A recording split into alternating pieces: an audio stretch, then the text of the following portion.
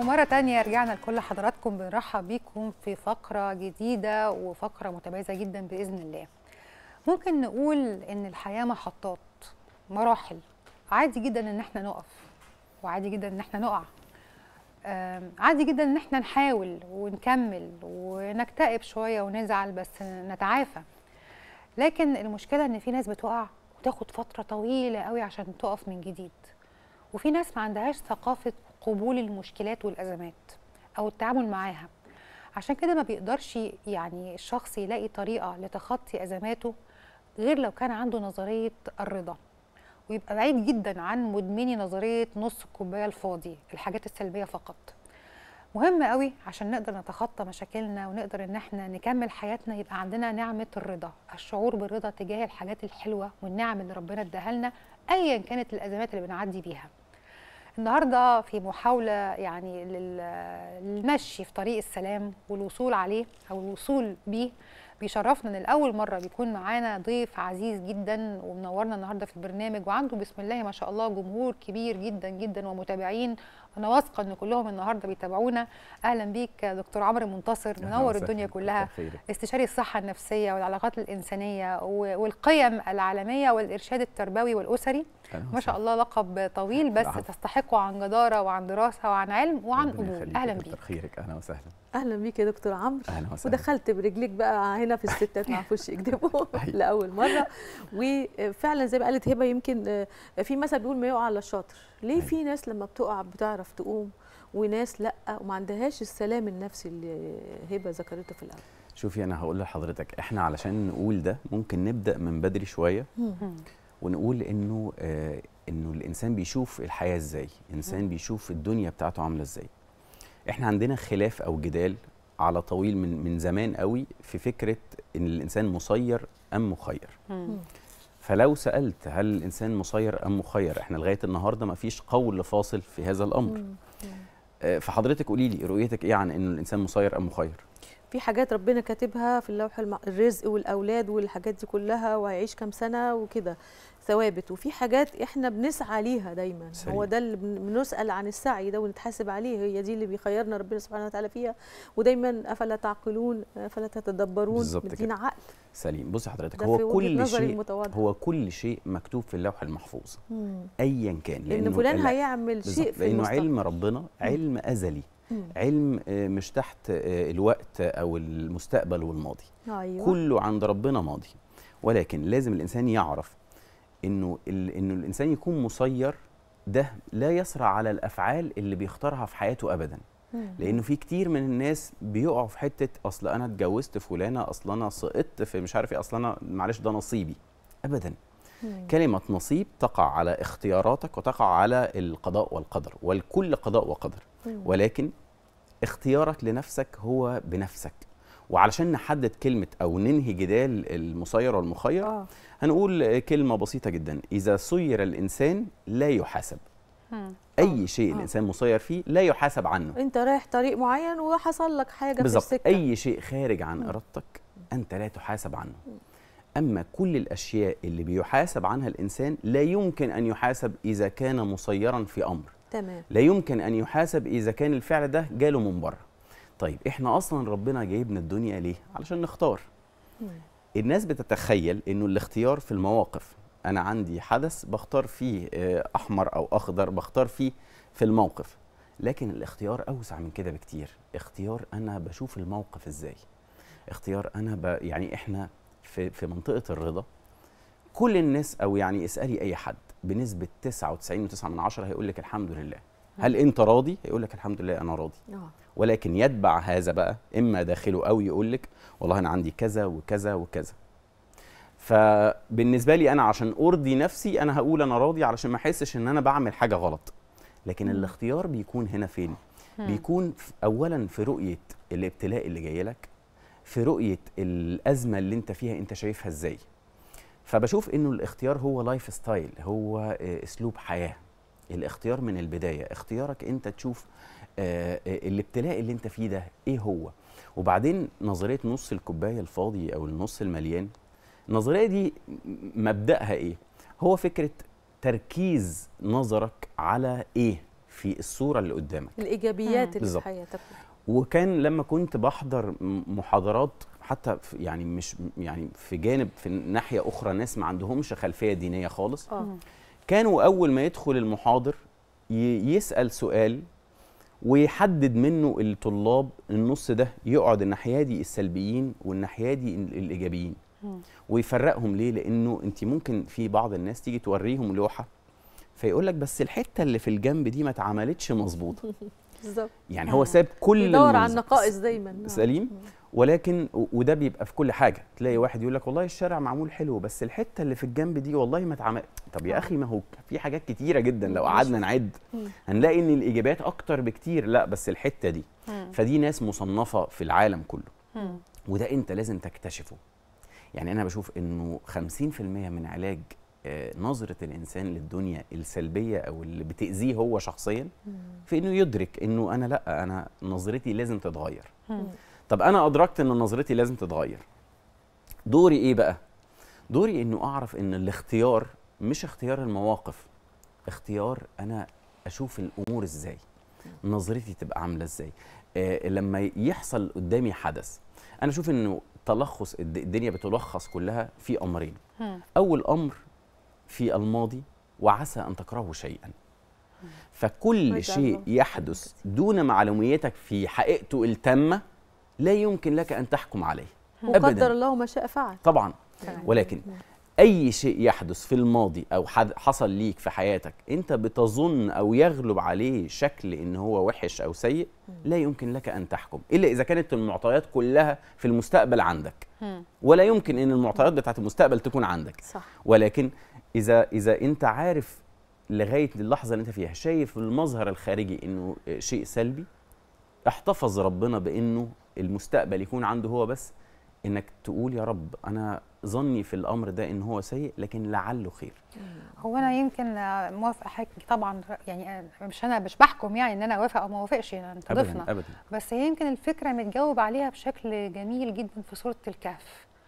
أنت ما تعرفش الغيب وفي نفس الوقت إن لو عندك الصبر يبقى انت كده إيه يعني بالظبط. ماشي في الطريق الصحيح ما بين الرضا وما بين ان انت بتسعى وبتحاول وانك بتختار وانك مسير في اشياء تانية أنا بس عايزة انوه لمشاهدينا ان إحنا هنكون وإحنا بالفعل لايف على. صفحتنا مم. لكل اللي عنده أسئلة يعني يحب يوجهها الدكتور عمرو منتصر هنرجع بس عشان قضية مسير ومخير دي قضية أيوة. كبيرة جدا بالظبط ويعني. وما زالت تقتل بحثا بس هي برضو محلولة في حتة والنفس وما سواها ألهمها فجورها وتقواها أنت مخير إنك تحارب أهواء نفسك طبعا ولكنك غير مسير في اللي هيحصل لك ورضاك جزء من الحرب بتاعك على حقيقي. أهواء نفسك حقيقي. طيب صح كلامي صح، صح أنا فاهمة الدنيا كده 100%. تمام امنا المدخل ده 100%. لو امنا بإن في حاجات مهما آه. سعينا فيها بتاعت ربنا هنهدى شوية بالظبط. لكن لو سبت نفسي بقى لنفسي وأهوائها يبقى خلاص حقيقي طيب أنا عايز أرجع شوية في الأول كده هل حضرتك من الناس اللي طول عمرك كنت كده عندك هذه الإيجابية والقدرة إنك تقع وتقوم تقف ولا حصل حاجة مثلا خلتك تتجه للبحث والدراسة وإنك تطور من نفسك وتصبح النهارده دكتور عمرو منتصر؟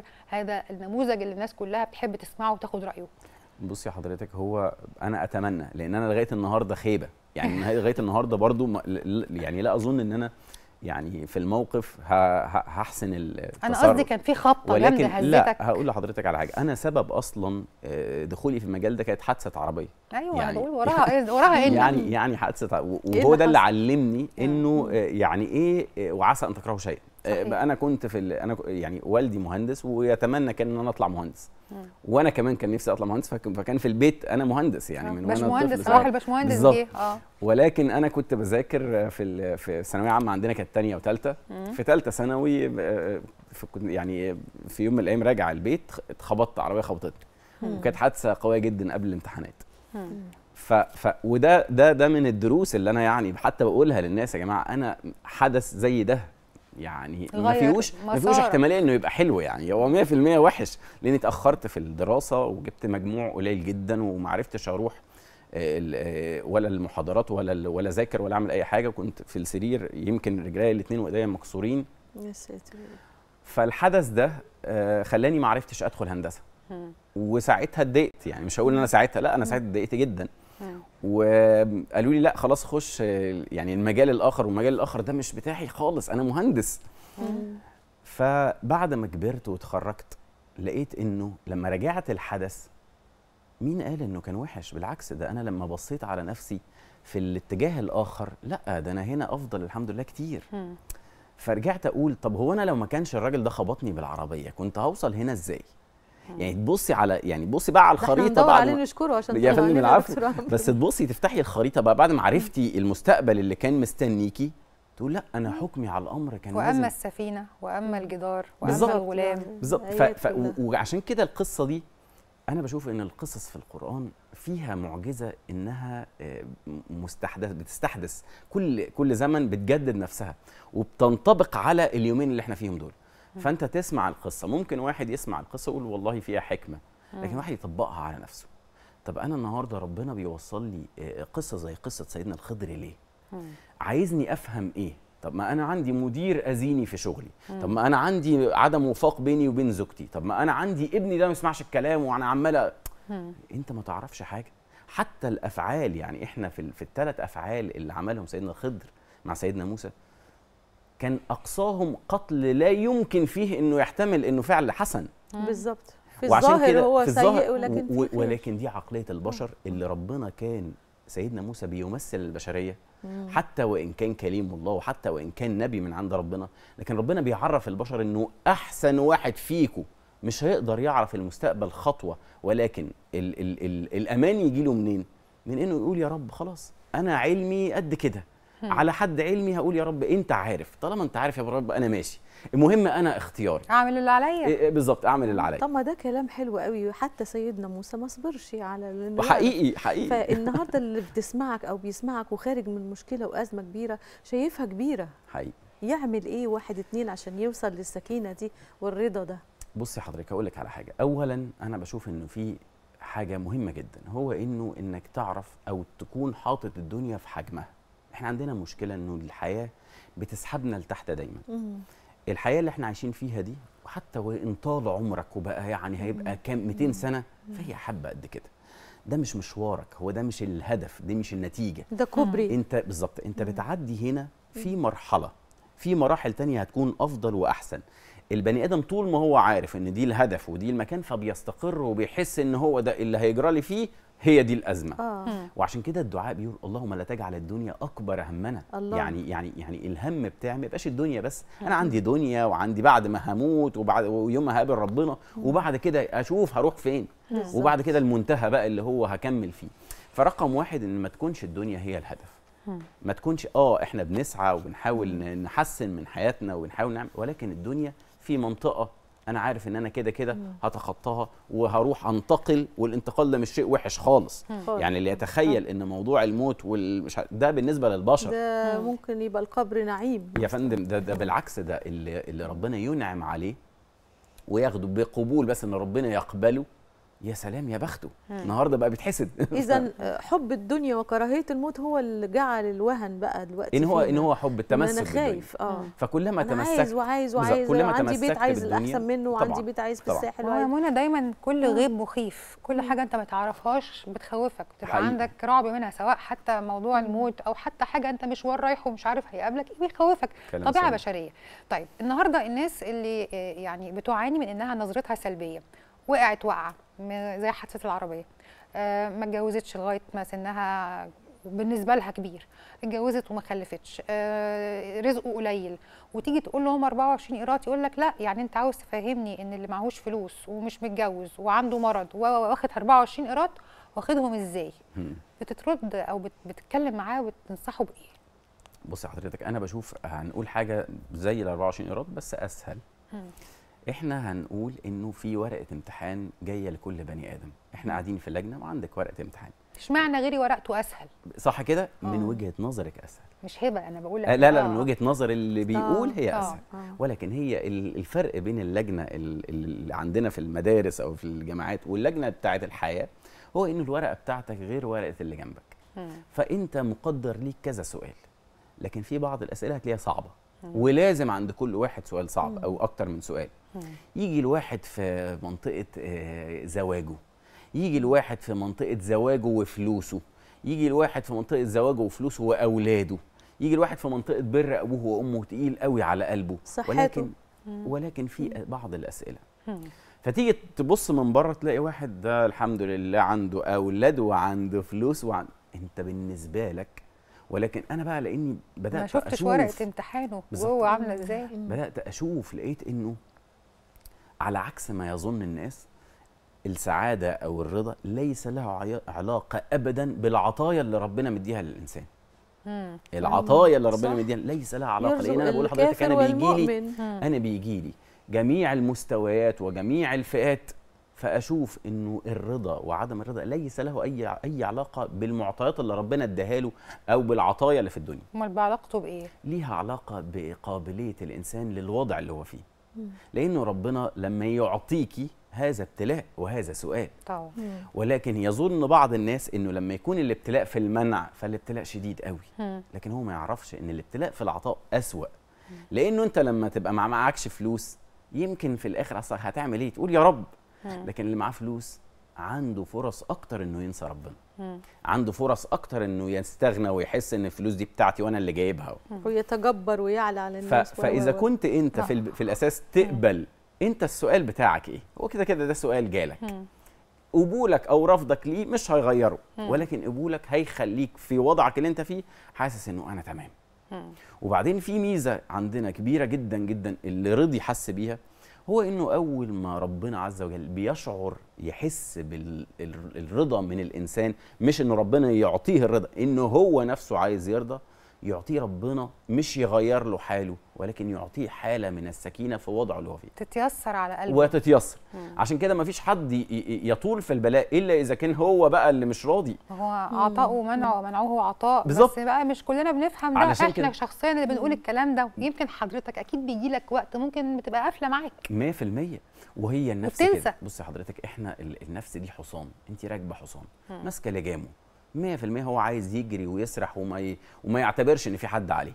لكن المسكة بتاعتك هو بيجري. مش هقول لك إن هو مع أي حد هي... لكن هتمسكي هتحاولي تشدي مرة مش هيسمعك. المرة الجاية بقوة شوية. هيوقعك من فوق بالظبط. الحصان شوية. بالظبط. وتقوم ولكن في النهاية هو حصان. يعني الحصان ده هو النفس. هي النفس. طب اللي إيه- عايز تسرح لما. بلجم النفس وأحجمها ده بيخلي الروح ترقى وترتاح وتوصل للسكينة. بص وده علاقة مهمة جدا عايزاك كان تفسرها. كان. الإمام الغزالي بي بيشرح الموضوع ده بطريقة بسيطة قوي قال لك مم. إنه النفس أو الإنسان هو خليط بين أمرين مختلفين تماما. مم. ربنا جاب من الطينة اللي هي أدنى ما في الأرض. صحيح. الطينة اللي هي صعبة ووحشة وحط فيها نفخة من روحه اللي هي أرقى. ما في الدنيا. السر. ففي هذا الميكس الغريب قوي بقى الإنسان. جزء من الطينة وهو النفس اللي بتطلب وبتعوز دايما حاجات سيئة وبتدخلنا في. وعلى فكرة طلبات النفس مش لازم حاجات غلط اكتئاب حزن زعل. سرحان في أي شيء. والروح اللي من نفخة ربنا اللي بتخلي الإنسان أرقى مخلوق في الكون كله. طيب كل ما البني آدم تمسك بالناحية اللي هي التحتانية نزل. يعني بصي هو الإنسان فيه بالظبط مؤشر. يا إما بيتم... النفس بتسوقه فينزل لتحت.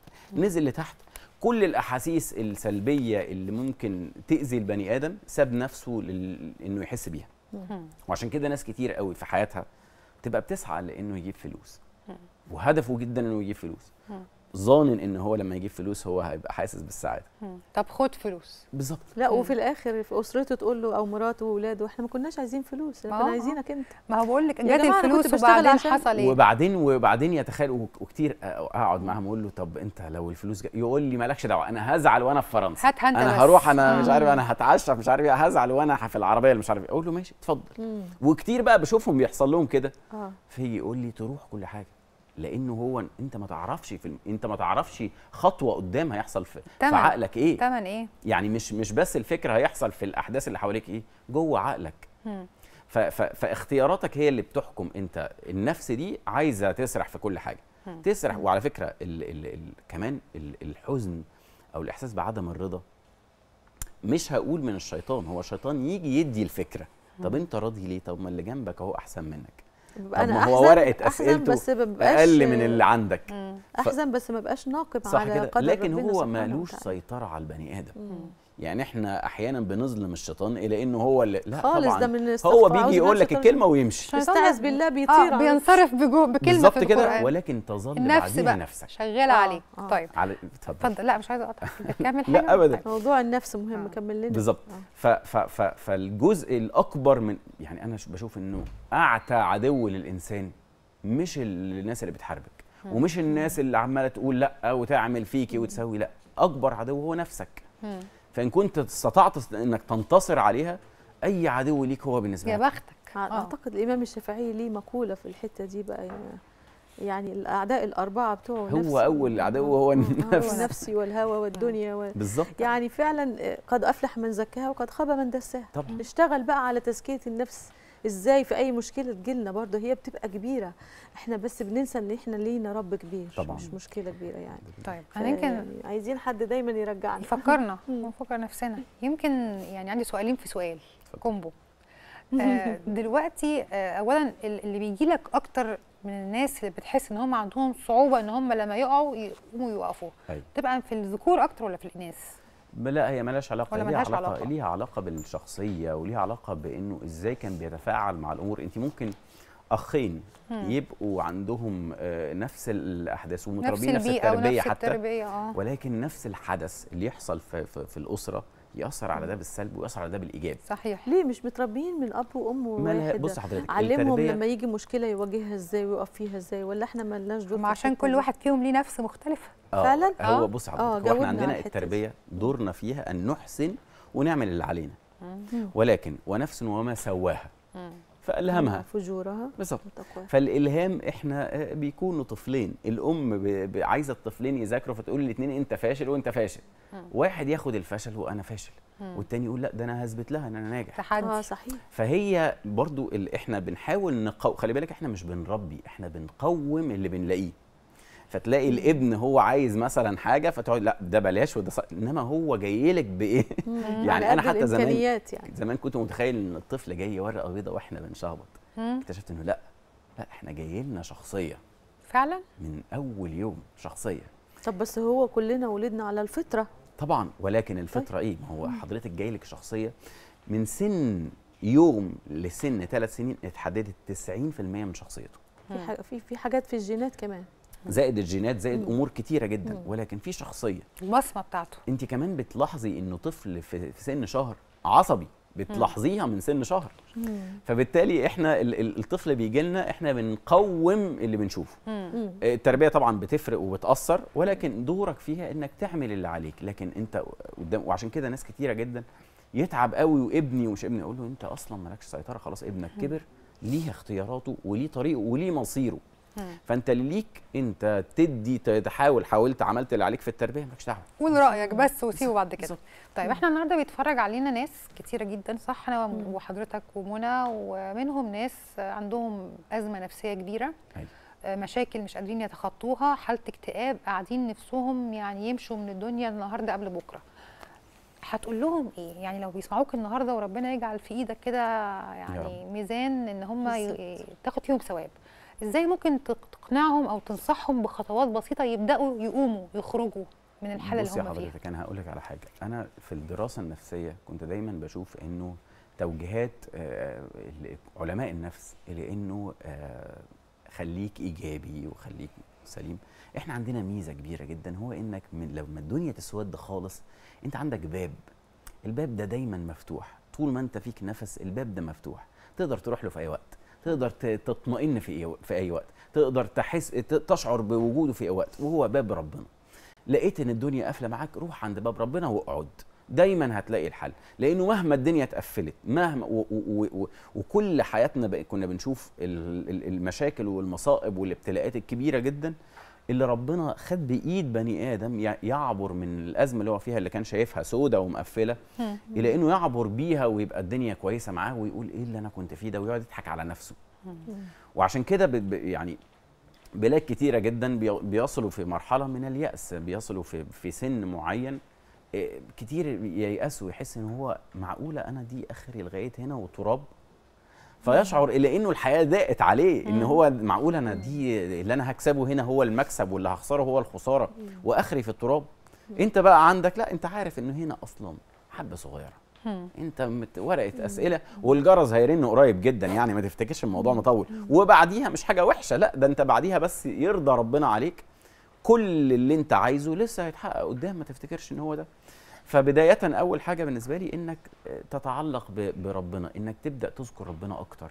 إنك تبدأ إحنا ناس كتيرة بتصلي لكن مين بيحس بالصلاة. ده اللي, اللي, بيشعر بالصلاة. والعارفين بالله بيقول لك إن الصلاة مخرج كبير جدا من أي أزمة. صحيح. إنك بس تقول الله أكبر يا رب أنا عندي مشكلة. الله. أكبر. أنا عندي أزمة. أنا ما عنديش أنا الحياة اللي أنا فيها دي مش عارف إيه. أنا عندي مشاكل مادية عندي مشاكل في أسرتي. الله أكبر خلاص أنا بره كل ده. أنا خمس مرات في اليوم بقول يا رب أنا خارج حياتي أنا قلعت حياتي وسبتها وأنا معاك. خمس مرات بنقول إياك نعبد وإياك, وإياك نستعين نستعين غير طبعا السنن كمان. طبعا بالظبط. بنستعين بربنا. بالظبط. فإذا البني آدم أنا بقول لحضرتك معظمنا بيقول لما تيجي تسأله طب أنت راضي ولا مش راضي؟ يقول لك الحمد لله. يعني معظمنا. وصعب قوي تلاقي حد بيقول لك أنا مش راضي صعب جدا. لكن تعالى بص على اللي راضي فعلا. هل أنت ربنا مستني منك الكلمة ولا مستني إحساسك بيها؟ وهل انت لو ضحكت عليا أو قلت لي أنا مبسوط أو أنا راضي أو الحمد لله هل ربنا مش هيعرف سريرتك هيعرف نيتك هيعرف داخلك فيه إيه؟ فراقب نفسك انت فعلا راضي؟ يا رب أنا لو خيرت تمام الرضا ولا لا؟ أيوه. أيوه الرضا مش أنا كلمة. أنا أنا أنا, أنا من جوايا أنا. إحنا بنقول ليه؟ لأن إحنا عندنا ضمير صاحي. إحنا مش عايزين نقول كلمة أنا مش راضي. آه. ولكن هل أنت جواك أنت حاسس بإنك أنت الوضع اللي أنت فيه أفضل وضع؟ طيب تعالى إحنا كنا بن... بنعمل طريقة نفسية لطيفة جدا في إنه نجيب ورقة يكتب فيها كل المشاكل اللي مأزمة له حياته وموصلة للاكتئاب. ورقة تانية يكتب فيه النعم اللي عنده. آه. الورقة دي الناحية دي والورقة دي الناحية دي. أقول له أنا هاخد ورقة ابتلاءاتك اقطعها كلها. وه... من اللحظة دي مش هتكون عندك. يقول لي بجد إزاي؟ أقول له بس مالكش دعوة. وهات لي الورقة اللي فيها النعم نشيل منها نعمة واحدة أو اتنين من اللي في الأول. يا رب. يقول لك لا أنا عايز الاتنين خليهم لي. لأنه أمام صفحة الابتلاءات والمشاكل دي كلها مش قادر إنه يشيل نعمة من النعم اللي ربنا مديها له.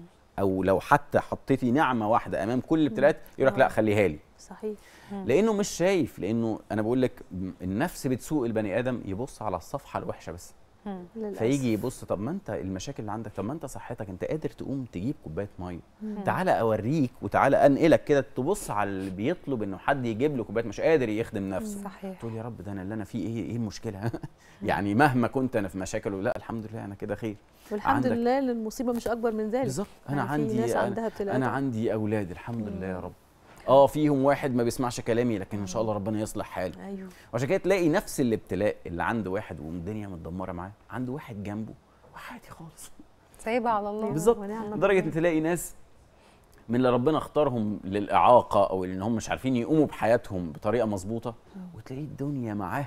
تيجي تقول له اديني شوية من الرضا اللي عندك. بيكسفونا من. نفسنا والله ليه؟ لأنه أنت. ما تعرفش لما ربنا اداله هذا الابتلاء أعطاه مع لما رضي لما هو عمل الفعل. انه خلي بالك ربنا مستني الخطوة الأولى منك دايما.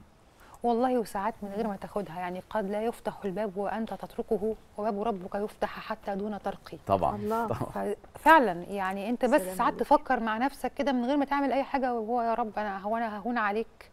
بتعرفش إيه اللي ولكن برضه بيحصل. فعل الإنسان يعني برضه فعل الإنسان. أنا بشوف إنه لو لو لو إحنا قعدنا نفكر في الكلام اللي ربنا جايبه في كتابه وفي ال في, ال في القصص اللي ربنا جايبها في كتابه هتعلمنا كتير قوي هل تتخيلي لما تيجي تبصي على آه، قصة ستنا هاجر وهزي إليك بجذع النخلة الله ستنا مريم ستنا ستنا مريم مم. لما تكون آه، قاعدة لسه والدة وبتهز هي ستنا هاجر. هاجر ستنا. مريم ولكن إزاي تهز واحدة لسه والدة تهز جذع نخلة من تحت وإحنا عارفين إنه النخل من تحت.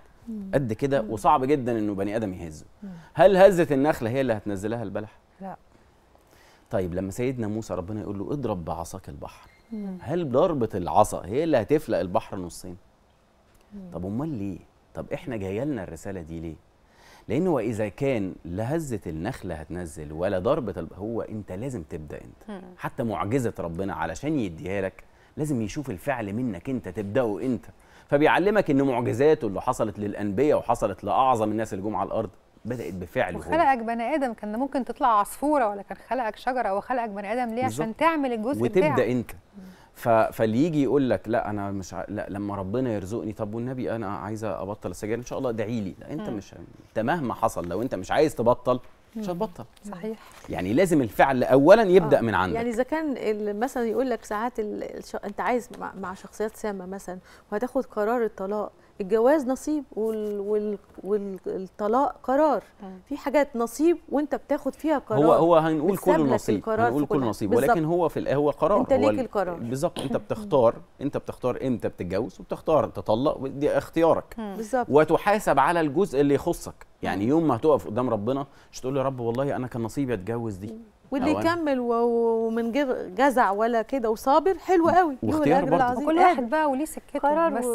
حط ربنا معاك في كل حاجة زي ما عمرو بيقول. حط أنا مش عاوزه أكمل وعاوزه أتطلق بس هستخير هدعي ربنا وأنا ماشي في الخطوات هيوقفها لي هيكملها لي. هيصلح الحال هيقفل. الموضوع يعني بص حضرتك يا دكتور إحنا سعداء جدا انك كنت معانا. وجمهورك. كله وجمهورنا في برنامجنا يعني كانوا منتظرين اللقاء ده وإن شاء الله هنكرره إن قريب شاء الله بإذن الله. هتنورنا قريب؟ إمتى الله إن شاء طيب؟ الله. يشرفني أي وقت. إمتى طه؟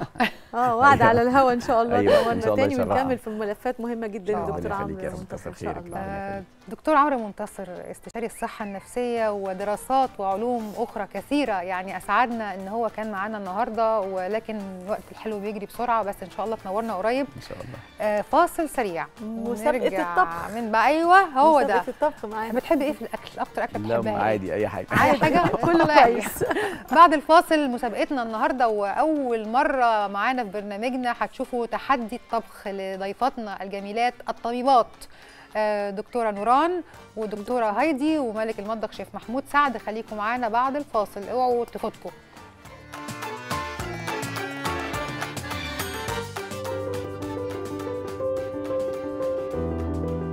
نيابة عن دولة رئيس الوزراء آه، أنا وزميلي معالي وزير التجارة والصناعة افتتحنا المعرض. معرض بيركز على البلاستيك وعلى المطاط. يمكن الشق اللي مهم قوي في قضية الاستدامة أو القضية البيئية إن إحنا الموضوع بتاع البلاستيك هو موضوع من الموضوعات اللي بتحظى باهتمام عالمي. إحنا لدينا استراتيجية وطنية للحد من الأكياس البلاستيكية اللي بنحاول نشوفه النهارده مع القطاع الخاص والمصنعين واحد إزاي نقدر نساعدهم في إن هم يتحولوا لعمليات الاستدامة؟ يعني اللي بيطلع منتج بلاستيك إزاي يعيد تدبيره مرة أخرى؟ اللي بيصنع كيس بلاستيك إزاي يقدر يصنع كيس قابل للتحلل أو يعمل عمليات تكنولوجية مختلفة بحيث يبقى كيس صديق للبيئة؟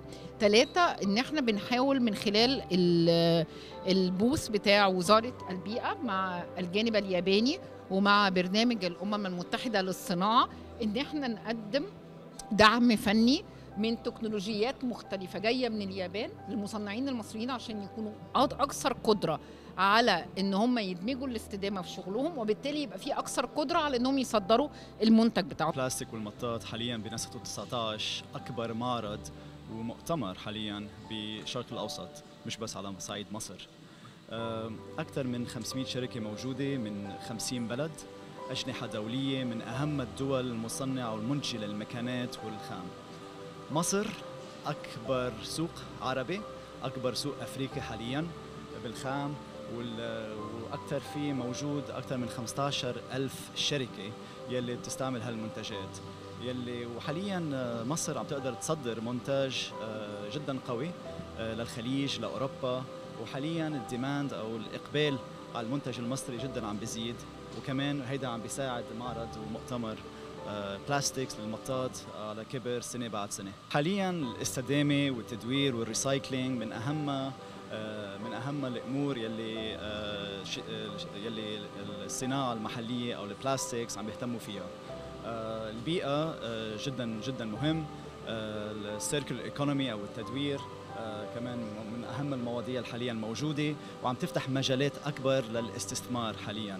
المعرض بالنسبة لنا طول عمرنا بناخد المكن من هنا بناخد ما هو جديد اللي بيحصل في سوق البلاستيك بشكل عام أو في الخامات أو في التصنيع لأن إحنا مهتمين بالجزئيتين إحنا مش مجرد تجارة بس يعني.